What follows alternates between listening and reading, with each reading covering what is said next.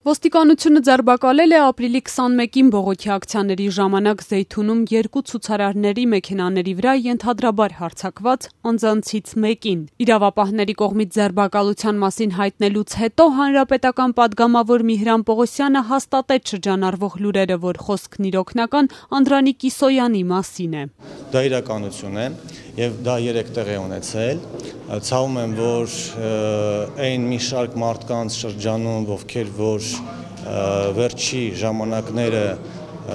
ձերբակալվել են կամ հրավիրվել են համապատասխան մարմինների մարմիններ նաև հայտնվել է իմ օկնականը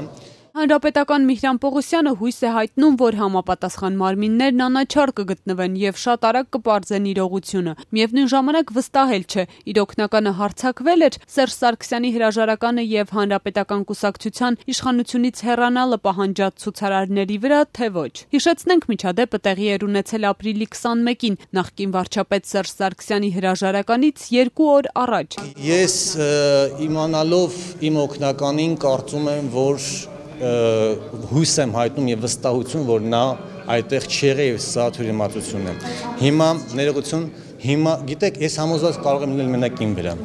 Եվ ես կարող եմ երաշխավորել միայն ինձ համար։ Ազատությունն ավելի վաղ անդրադարձել էր այս միջադեպին։ Երևանի ավականու ելք խմբակցության անդամ Զարուհի Բաթոյանը հայտնել էր, որ իրեն հասած տեղեկություններով ցուցարարների մեքենաների վրա հարձակված անձինք ապրիլի 21-ին իջել էին հանրապետական падգամավոր նախկին ԴՀԿ ղեկավար Միհրան Պողոսյանի եւ նրա աշխատակիցներին պատկանող երկու Porsche մակնիշի մեքենաներից։ Բացի այդ Բաթոյանը կասկածներ ուներ, որ դրանցից մեկի ներսում եղել էր նաեւ Միհրան Պողոսյանը։ Վերջինիս ուղված հարցին, եթե հաստատվի իր օկնականի մեղքը, ապա հնարավոր է, որ օկնականը գործել է հենց Միհրան Պողոսյանի հրահանգով։ Պատգամավորն արձագանքեց.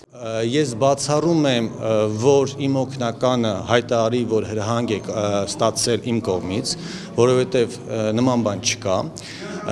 Իսկ ոչինչ այլ ես չեմ բացառում, որ քննություն ինչ կողմ կգնա եւ մենք բոլորս կտեսնենք եւ կհետևենք։ Եթե քննությունը հաստատի իր օկնականի մեղքը, ապա ըստ Պողոսյանի անդրաժեշտ կլինի խստագույն պատժի ենթարկել նրան։ Ընդ որում հանրապետական падգամավորը նշում է, թե ինքն էլ կնպաստի դրան, սակայն չի հստակեցնում, թե ինչ լծակ ունի ազդելու իրավապահ համակարգի վրա։ Ամենախիստ եւ ցանկացած նման արարք պետք է լինի իրավապահ մարմինների կողմից պրոֆեսիոնալ մոտեցման մոտեցում պետք է ունենա իրապահ մարմինները։ Դա ամենախիստ ուրեմն պատիժն է եւ ես ինքս կնպաստեմ դրան։ Քնչական կոմիտեի նախագահի խորհրդական Սոնա Տրուզյանից հետաքրքրվեցինք, արդյոք մամուլի հրապարակումներն այն մասին, որ ցուցարարների վրա հարձակված անձանց մեքենայում եղել է նաեւ Միհրան Պողոսյանը, բավարար են, որպեսզի Պողոսյանը եւս հարցակննվի։ Եթե կան վկաներ, անձինք, ովքեր եղել են դեպքի վայրում եւ տեսել են, թե ովքեր են եղել բռնություն կիրառողները կամ նշված երկու ավտոմեքենաների մեջ, ապա խնդրում եմ թող ներկայանան վարույթ իրականացնող մարմնին։ Հակառակ պարագայում հղում կատարելով անանուն ակտիվների վրա եւ ասել լսելով, ասել կոսեներով լուրեր տարածելը ես չեմ պատրաստվում մեկնաբանել։